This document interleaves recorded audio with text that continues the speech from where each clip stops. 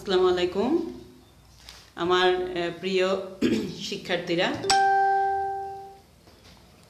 একাদশ শ্রেণির সায়েন্স গ্রুপে আমি তাসলিমা বেগম, সহকারী অধ্যাপক কুমিল্লা ভিক্টোরিয়া সরকারি কলেজ, অবশ্যই জিওলজি ডিপার্টমেন্ট তোমাদের বায়োলজি সেকেন্ড পার্ট আশা করি সবাই ভালো আছো, স্বাস্থ্যবিধি মেনে চলছো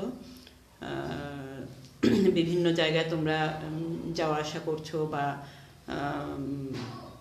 চলাচল আছে কারণ তোমাদের ঘরে রাখাটাও সমস্যা, বিশেষ করে ছেলেরা।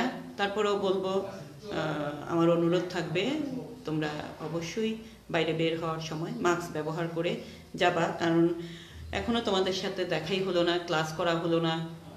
যেন ইনশাল্লাহ আমি সুস্থ থাকি, সবার সাথে দেখা হয় এবং তোমরাও স্বাস্থ্যবিধি মেনে চলো ইনশাল্লাহ আশা করছি সবার সাথেই ইনশাল্লাহ আমাদের দেখা হবে তো দেখা হলে ক্লাসটা আরও প্রাণবন্ত হবে, কারণ আমি আমার স্টুডেন্টকে খুব বেশি ফিল করি। আমরা টিচাররা আসলে এই, এইরকমই যে আমাদের যে খুব সফট একটা জায়গা সেটা হচ্ছে তোমরা তোমরা যাই করো, নাই করো তোমাদেরকে শাসনও করব, আবার আদরও করব অতএব আমাদের যে টিচার আর স্টুডেন্টের সম্পর্ক, সেটা একদমই ভিন্ন একটা সম্পর্ক। হ্যাঁ?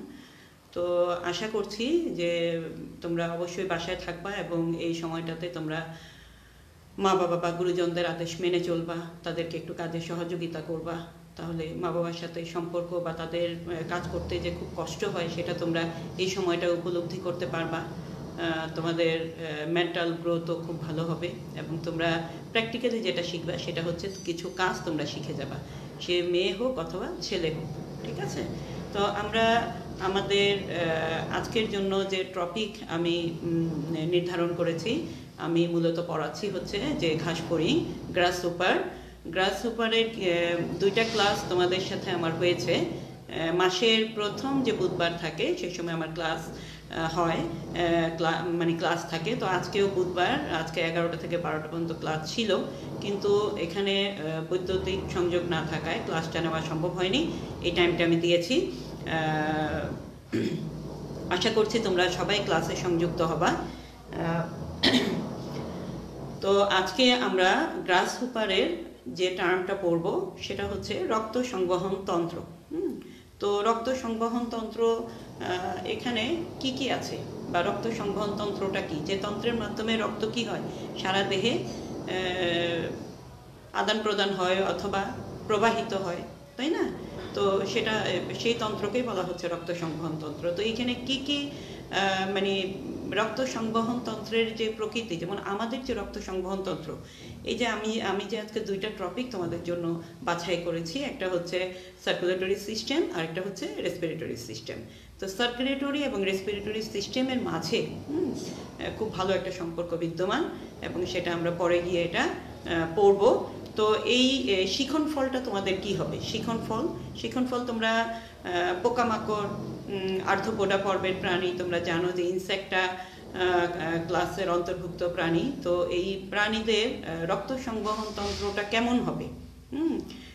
আমরা যে আমাদের আশেপাশে অসংখ্য প্রাণী মানে আর্থপর প্রাণী দেখতে পাচ্ছি বিশেষ বিশেষ করে পোকামাকড়ই আমাদের কাছাকাছি আমরা বেশি দেখি যেমন মশা মাছি ঘাসফড়িং তেলাপোকা তাই না? তো এদের রক্ত সংবহন তন্ত্র মানুষের সাথে যদি তুমি তুলনা করো, তাহলে খুবই অনুন্নত ধরনের।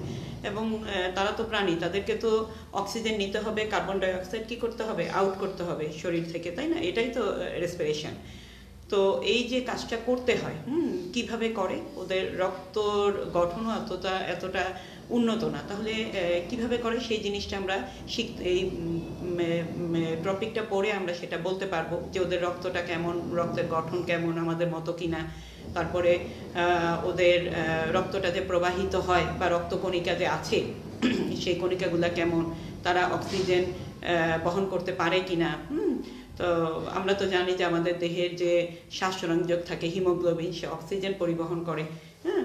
তো এখানে ওদেরটা পারে কিনা এবং ওদের, আমাদের যে ধমনী শিরা, এগুলো সাধারণত প্রত্যেক মানুষই জানে যে রক্তবাহিকা থাকে, হৃৎপিণ্ড থাকে, ধমনী শিরা থাকে এবং কৌশিক জালিকা থাকে। তো ওদেরও সেরকম থাকে কিনা সেটা সম্পর্কে আমরা জানব এবং পড়ে সেটা আমরা বলতে পারব হ্যাঁ আর দ্বিতীয়ত হচ্ছে তোমার রক্তের যে সংবহন, সেটা কীভাবে? যে আমাদের হার্ট যে সেটা চারটা চেম্বার থাকে, সেখান থেকে রক্তটা দুইটা চেম্বার মানে দুইটা নিলয় দিয়ে হ্যাঁ দুইটা অলিন্দে এক এক জায়গা থেকে রক্ত এসে কার্বন ডাইঅক্সাইডযুক্ত রক্ত এসে, আসে, এসে ভর্তি হয়, আরেক জায়গা থেকে অক্সিজেন আসে, সেটা পরবর্তীতে আবার ডিস্ট্রিবিউট হয়। তো সেটার মতো কিনা ওদের যে হার্ট থাকে হার্টের গঠনটাই বা কেমন, সেটাও আমরা জানতে পারব। আর ওদের সংবহন প্রকৃতিটা আমাদের সাথে মিল কিনা সেটাও আমরা একটুখানি আলোচনা করে ফেলব। কারণ, এরপরেই তোমাদের যেটা আসবে সেটা হচ্ছে মানব দেহ। তো মানব দেহের সাথে একটু আলাপ আলোচনা করে গেলে তোমার কি আছে? সেটা নিয়ে একটু আলাপ আলোচনা করলে অন্যান্য প্রাণীদের সাথে তুলনামূলক, তাহলে তোমার মনে রাখতে, বুঝতে একটু সুবিধা হবে। শ্বসনতন্ত্রে আমরা যাই রেসপিরেটরি সিস্টেমে ওখানে আমরা দেখি যে আমাদের শ্বসনের জন্য যে আমাদের কি আছে? আমাদের একজোড়া ফুসফুস আছে, তাই না? তো ওদের কি আছে? হুম? তো ওদের শ্বসনটা কেমন? এবং আমাদের শ্বসনে আমরা বলি যে আমরা অক্সিজেন নিচ্ছি বহিনাসরন্ধ্র দিয়ে অন্তনাসরন্ধ্র দিয়ে যাওয়ার পরে সেটা কোথায় চলে যায়? ট্রাকিয়াতে যায়। ট্রাকিয়া গিয়া বা দুইটা ভাগে বিভক্ত হয়, ব্রঙ্কাস দুইটা ব্রঙ্কাস গিয়ে আবার দুইটা ফুসফুসে ঢুকে অসংখ্য শাখা প্রশাখায় বিভক্ত হয়। সেটাকে বলা হচ্ছে ব্রঙ্কিওল এবং প্রত্যেকটা ব্রঙ্কিওলের মাথায় একটা করে বেলুনের মতো থাকে, সেটা হচ্ছে অ্যালভিওলাস। ওখানে অক্সিজেনটা গিয়ে জমা হয়। তো ওদেরও সেরকম গঠন কিনা, সেই, সেটাও আমরা জানতে পারব। আর আজকে আমরা শ্বসনের যে মানে প্রক্রিয়াটা, যে কি প্রক্রিয়া শ্বসন হয় আর্থপর প্রাণী তথা তোমার ইনসেক্টা ক্লাসের এবং মূলত ঘাসফড়িংয়ের মধ্যে সেটা আমরা পরবর্তী ক্লাসে আমরা ইনশাল্লাহ পড়ব। কারণ ফর্টি ফাইভ মিনিটসের মধ্যে ক্লাসটা সম্পন্ন করতে হয়। তারপর আমি ফিফটি মিনিটস ক্লাস নিব তোমাদের আজকে। তো আমরা এখন শুরু করতে পারি যে রক্ত সংবহন তন্ত্রের কথা যদি বলি, তাহলে রক্ত সংবহন তন্ত্র দুই ধরনের হয়। একটা হচ্ছে বদ্ধ, একটা হচ্ছে উন্মুক্ত। উন্মুক্ত কোনটা? উন্মুক্ত হচ্ছে যে বাহিকা দিয়ে রক্তটা কিছু দূর বাহিত হওয়ার পরে যদি আমাদের যে, এই যে দেহের মধ্যে যে একটা গহ্বর থাকে, যেখানে সব অঙ্গ প্রত্যঙ্গ থাকে, সেটাকে আমাদেরটা আমাদের যে গহ্বর, সেটাকে বলা হচ্ছে কি? সিলম কিন্তু আর্থপর প্রাণীদের মধ্যে তোমরা পড়েছ যে শনাক্তকারী বৈশিষ্ট্যে হিমোসিল থাকে। হিম মানে কি? হিম হচ্ছে কি? রক্ত বোঝাচ্ছে। এইচ এ এম হিম হিম হচ্ছে এইচ ই এম হিম হচ্ছে রক্ত। তো রক্ত দিয়ে পূর্ণ যে গহ্বর সিল হচ্ছে সিলম ফাঁকা গহ্বর। তাহলে রক্ত দিয়ে পূর্ণ যে গহ্বর, সেটা হচ্ছে হিমোসিল হ্যাঁ? তো এখানে তোমার আমরা বললাম যে উন্মুক্ত রক্ত সংবহন তন্ত্রের সংখ্যা কি হবে? যে রক্ত বাহিকা দিয়ে রক্ত কিছু দূর বাহিত হওয়ার পরে সেটা রক্ত মানে দেহ গহ্বরের মধ্যে এটা উন্মুক্ত হয়ে যাবে। হ্যাঁ? রক্তটা গিয়ে পড়ে যাবে। পানির একটা পাইপকে যদি তুমি কেটে দাও তাহলে পানিটা গিয়ে কি?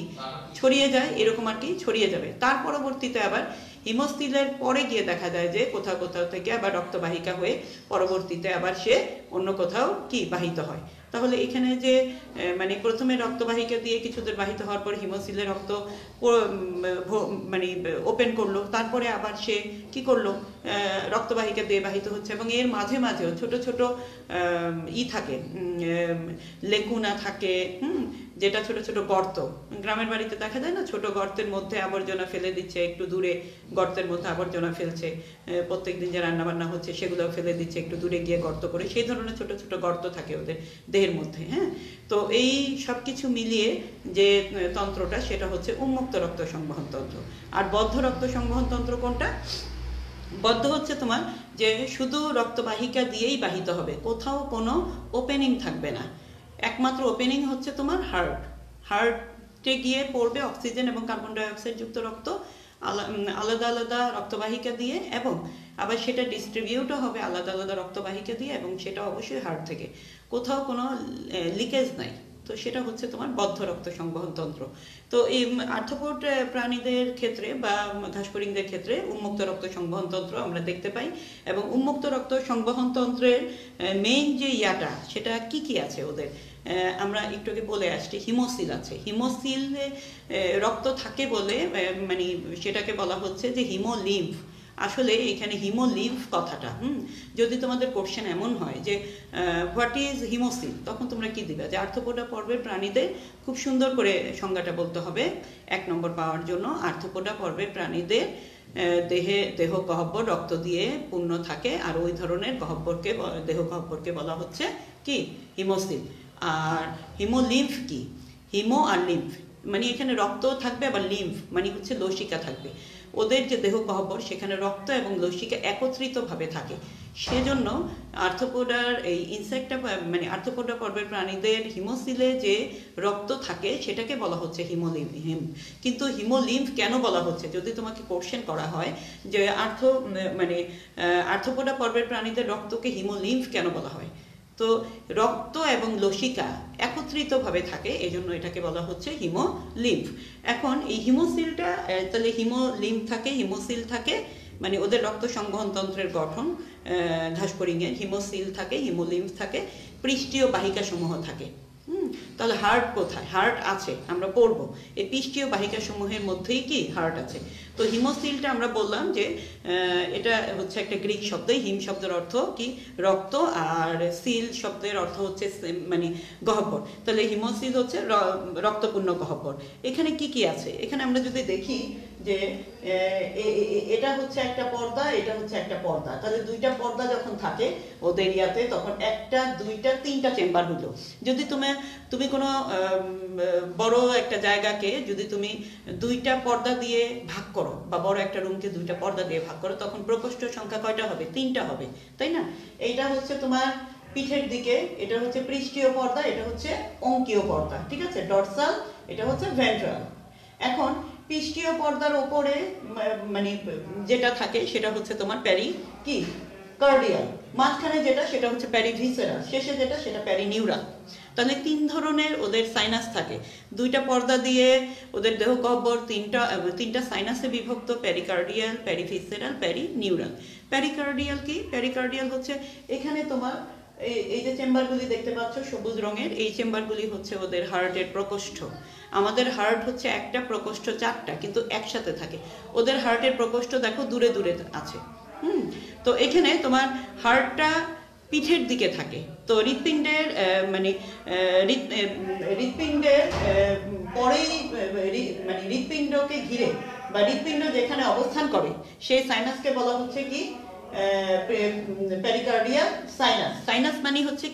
ফাঁকা জায়গা। একটু আগে বলেছি আমরা যে সাইনাস হচ্ছে কি? ফাঁকা জায়গা। সাইনাস তারপরে লেকুনা হচ্ছে ছোট ছোট গহ্বর, ওকে? তাহলে হিমোলিম্ফ হচ্ছে পুরো দেহ গহ্বর হিমোসিল হচ্ছে পুরো দেহ গহ্বর। আর সাইনাস হচ্ছে ছোট তার চেয়ে ছোট গহ্বর, আর লেকুনা হচ্ছে সবচেয়ে ছোট গহ্বর।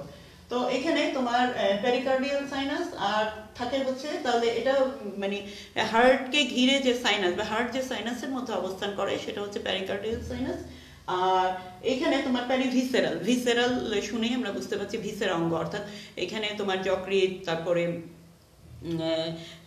পাকস্থলী, অন্ত্র, এগুলো অবস্থান করবে। তো এটাকে ঘিরে যে সাইনাস বা ফাঁকা জায়গা, সেটা হচ্ছে প্যারিভিসেরাল সাইনাস আর শেষে হ্যাঁ স্নায়ু যে থাকবে এখানে, একে ঘিরে হ্যাঁ পৃষ্ঠীয় স্নায়ু অঙ্কীয় দিকে যে স্নায়ু থাকবে, সেটাকে ঘিরে যে সাইনাস সেটা হচ্ছে প্যারি নিউরাল প্যারি নিউরাল তো স্নায়ুরজ্জুকে ঘিরে যে সাইনাস সেটা হচ্ছে প্যারি নিউরাল সাইনাস এখন এই এদের এই যে পর্দাগুলো যে থাকে, এগুলো দেখো, আমি ছিদ্র ছিদ্র করে আঁকছি।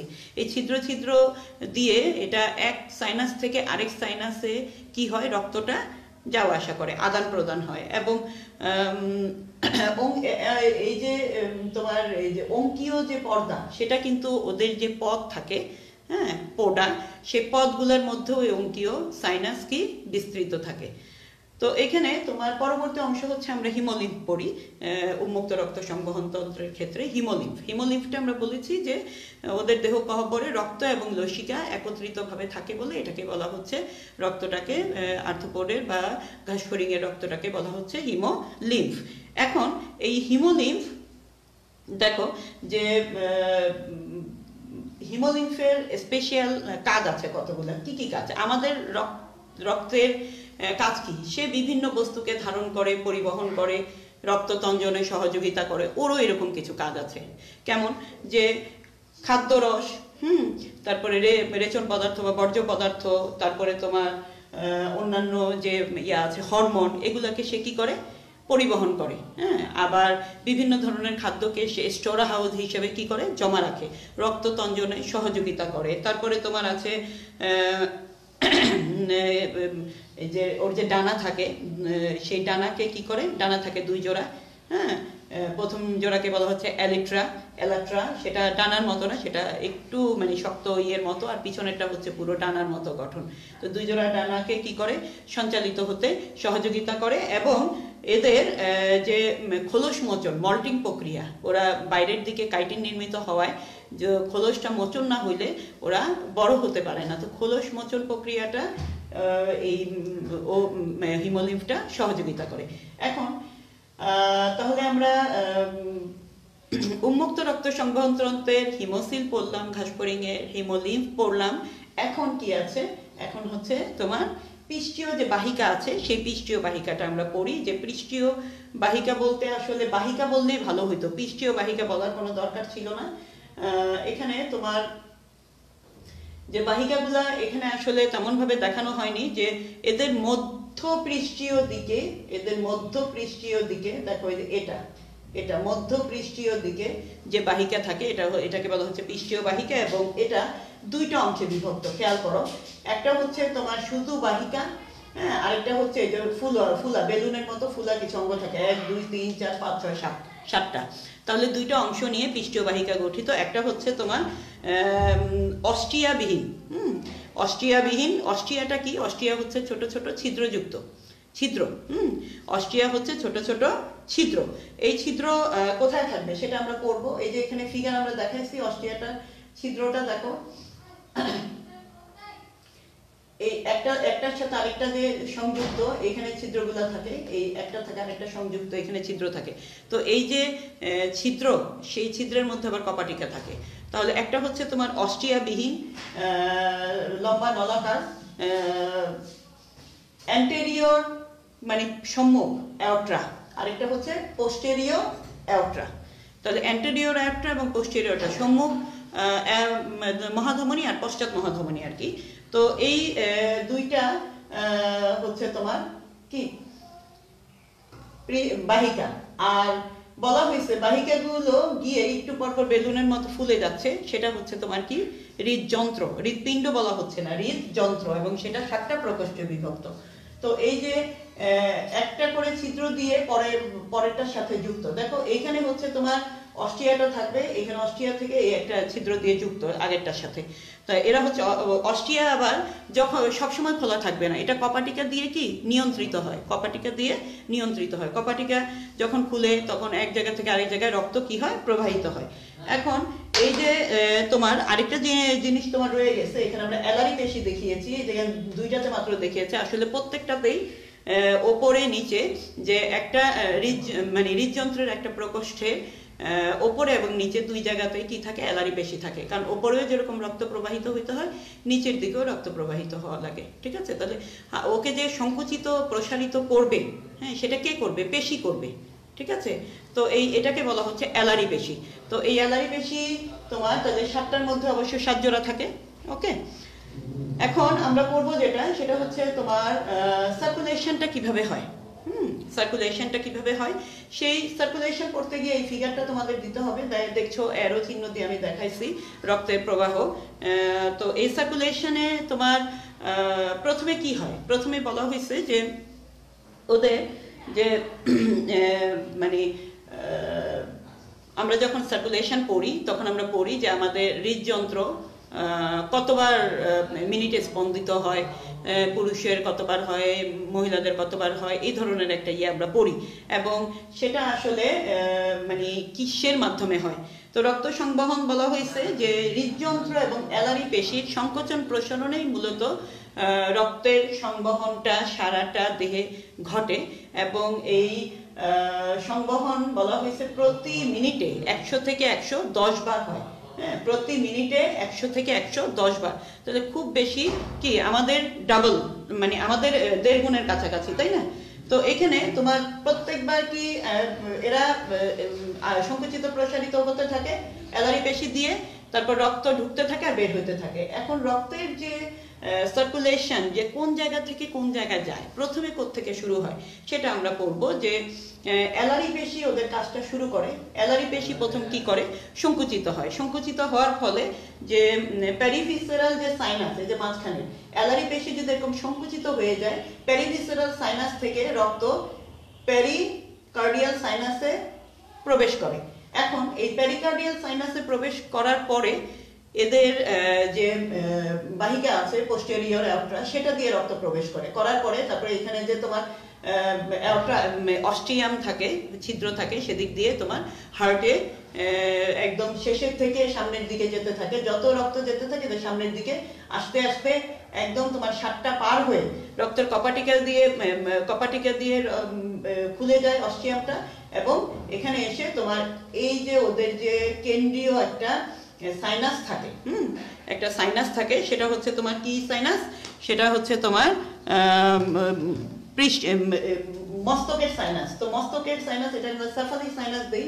C E P H A L I C cephalic sinus এই সাফালিক সাইনাসে আসে বা হেড সাইনাসে চলে আসে। সাইনাসে আসার পরে সেটা আবার পরবর্তীতে তোমার কোথায় চলে আসে? সেটা পরবর্তীতে আবার এই সাইনাস থেকে তোমার চলে আসবে এখানে প্যারি ভিসেরাল এবং প্যারি নিউরালে চলে আসবে এবং এরো চিহ্ন দিয়ে দেখো দেখানো হয়েছে যে পরস্পর এরা কি? আসা যাওয়া করছে। এবং কীভাবে করছে? দুইটা যে পৃষ্ঠীয় পর্দা এবং অঙ্কীয় পর্দা থাকে, সেখানে আমরা বলেছি কি ছোট ছোট ছিদ্রযুক্ত। এখন হৃদযন্ত্রের সকল প্রকোষ্ঠ রক্তপূর্ণ হইলে সেটা আবার চাপ দিয়ে হ্যাঁ হৃদযন্ত্র যখন একদম প্রসারিত হয়ে গেলে সেটা আবার অ্যালারি বেশি চেপে ধরে সংকুচিত হলে পরে তোমার এই মস্তকের সাইনাসে চলে আসে। মস্তকের সাইনাস থেকে পরবর্তীতে আবার প্যারিভিসেরাল এবং প্যারিনিউরাল সাইনাসে চলে যায়। প্যারিনিউরাল থেকে আবার তোমার অ্যালারি পেশি কাজ শুরু করলে সংকোচন শুরু করলে এই প্যারি ভিসেরাল থেকে আবার প্যারিকার্ডিয়ামে চলে আসে। এভাবে তোমার রক্তটা কি হয়? সারা দেহে সংবাহিত হয়। এখন আমরা যেটা করব, সেটা হচ্ছে তোমার রেসপিরেটরি সিস্টেম এখন রেসপিরেশন কি? যে যে জৈব রাসায়নিক প্রক্রিয়ায় কোষের মধ্যে অক্সিজেন দ্বারা কার্বন মানে কোষ স্থিত বা স্থিতি শক্তি রূপে যে খাদ্যটা থাকে সেটা ভেঙে কার্বন ডাইঅক্সাইড পানি আর শক্তি তৈরি করে, তাকে বলা হচ্ছে শ্বসন। তো ওদের শ্বসন আসলে ওদের কি ফুসফুস আছে? ফুসফুস নাই। তাহলে শ্বসনটা কীভাবে ঘটবে?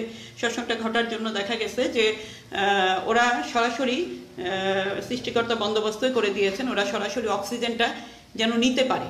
কীভাবে নেয়? সেটা ওদের যে পাশের দিকে মানে পার্শ্বীয় দিকে বলা হয়েছে বক্ষে দুই জোড়া এবং উদরে আট জোড়া। মোট দশ জোড়া ওদের কি থাকে? ছিদ্র থাকে। সেই ছিদ্রগুলোকে কি বলা হচ্ছে? শ্বাসরন্ধ্র বা স্পাইরাকাল। শ্বাসরন্ধ্র বা স্পাইরাকাল। তাহলে এটা অনেক সহজ করে, সহজ একটা ব্যবস্থা সৃষ্টিকর্তা করে দিয়েছেন যেন তারা মানে যদিও অনুন্নত প্রাণী, তারপরও অক্সিজেনটা সরাসরি নিয়ে, যেমন আমরা বহিরাশ্বরন্ত্রের মাধ্যমে অক্সিজেনটা নিয়ে ওরাও কিন্তু সরাসরি অক্সিজেনটা গ্রহণ করে। তা, তো এই অক্সিজেনটা নিয়ে ওদের মানে যেখানে চলে যায় শ্বাসরন্ধ্র দিয়ে ঢুকে, সেটা হচ্ছে মোটা প্রধান নালিকা, শ্বাসনালিকা সেটা হচ্ছে ট্রাকিয়া। ট্রাকিয়া আবার শাখা প্রশাখায় ভাগ হয়ে ট্রাকি ট্রাকিওল হয়। সেই ট্রাকিওলটা গিয়ে আবার বায়ুথলিতে শেষ হয়। ঠিক আছে? তো ওদের শ্বসনতন্ত্রের যে বিষয়টা, যে এই যে ট্রাকিয়া, ট্রাকিওল, বায়ুথলি, শ্বাসরন্ধ্র, এগুলা মিলে যে তন্ত্র, সেটা হচ্ছে শ্বসনতন্ত্র না বলে ট্রাকিয়াল তন্ত্র বলছে। কারণ কি?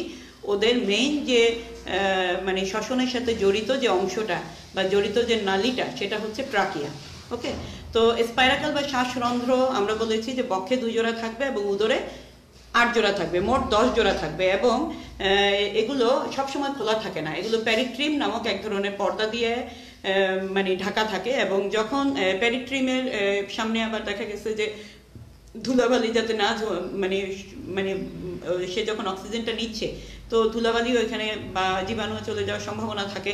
তো ওটার মুখের সামনের দিকে কিছু রোমের মতো অংশ থাকে যেটা ময়লা বা অন্যান্য কিছু ছেঁকে ছাকনির মতো কাজ করে, তারপরে বায়ুটাকে বা অক্সিজেনটাকে ভেতরে ঢুকতে দেয়।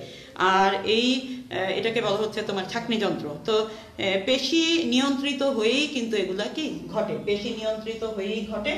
এবং ওদের মোটামুটি রেসপিরেটরি সিস্টেম একটা এঁকেছি আমি এখানে, দেখো, গ্রাস পারে তো পেশি নিয়ন্ত্রিত হয়েই কিন্তু স্প্যারাকল একসময় বদ্ধ হয়, একসময় খুলে যায় সব সময় খোলা থাকে না, ওকে? তো এখানে স্প্যারাকলের কাজ আমরা কি পড়লাম যে অক্সিজেনটাকে কি করে? গ্রহণ করে বাইরে থেকে হ্যাঁ? এবং শ্বসনে সহযোগিতা করে। তো এখানে দ্বিতীয় অংশ হচ্ছে তোমার ট্রাকিয়া বা শ্বাসনালী বলা হচ্ছে। এই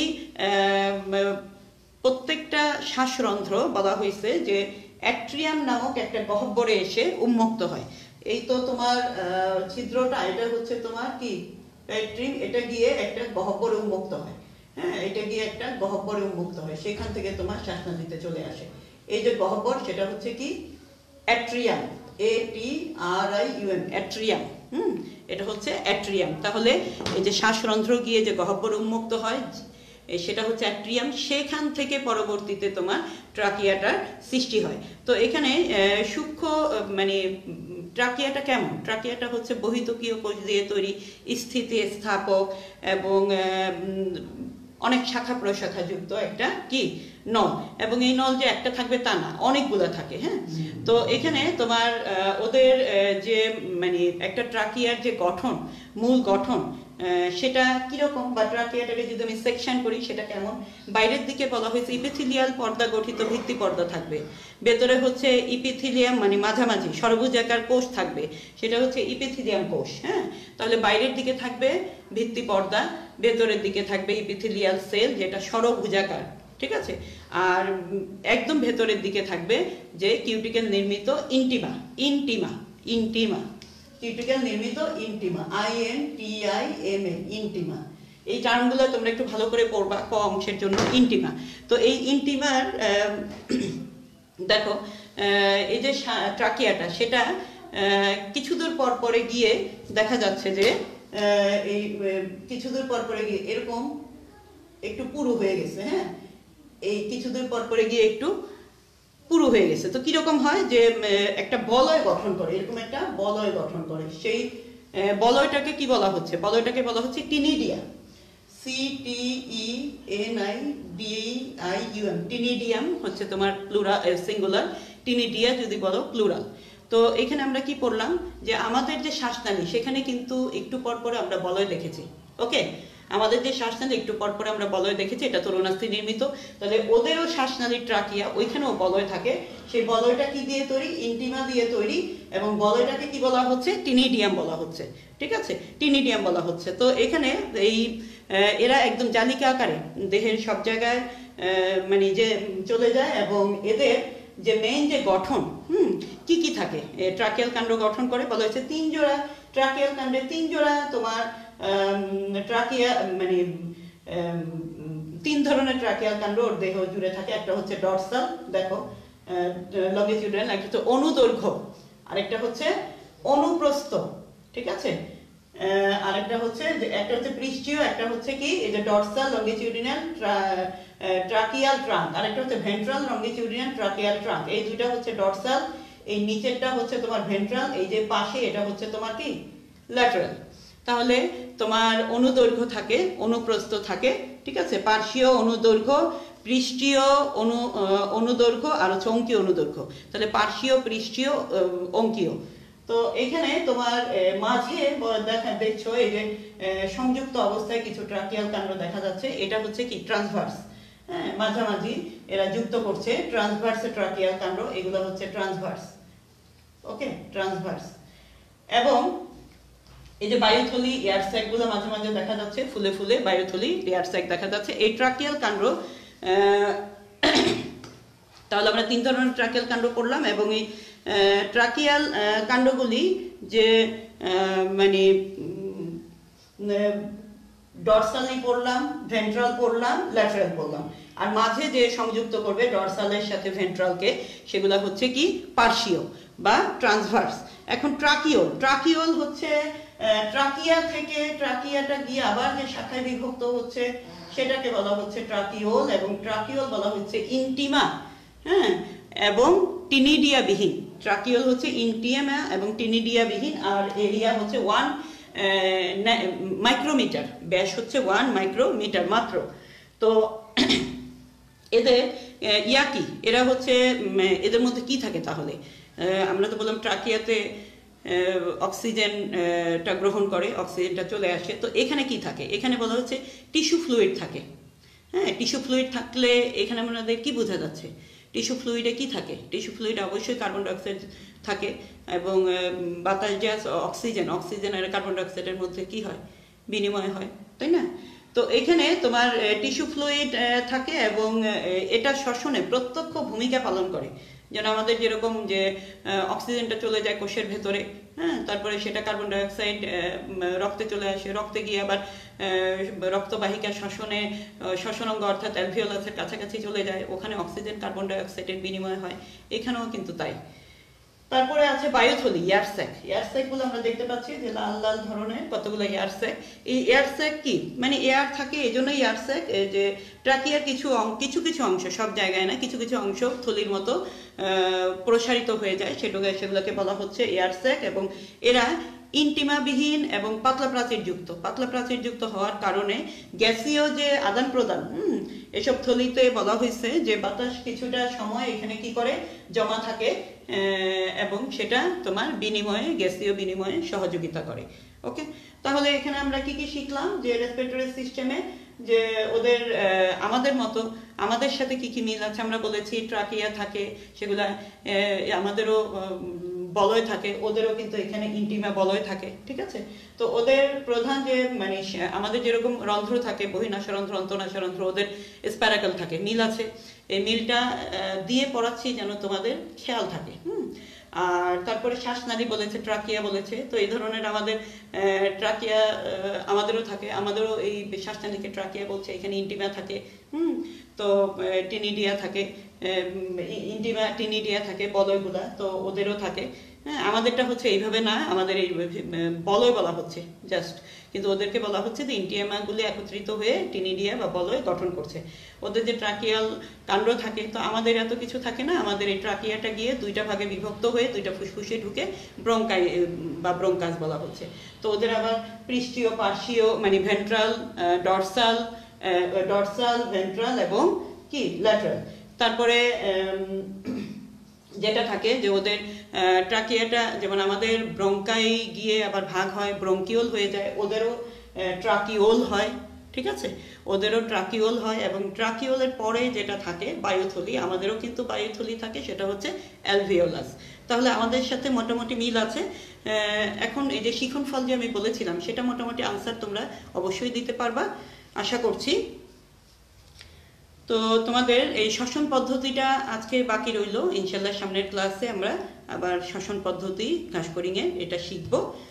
সেই পর্যন্ত তোমরা ভালো থাকো এবং আমার ক্লাসটা মানে তোমরা বারে বারে দেখবা, তাহলে দেখা যাবে যে এই বিষয়ে আর বেশি পড়ার তোমাদের আর দরকার হবে না। আসে। সবাই ভালো থাকো। খোদা হাফেজ।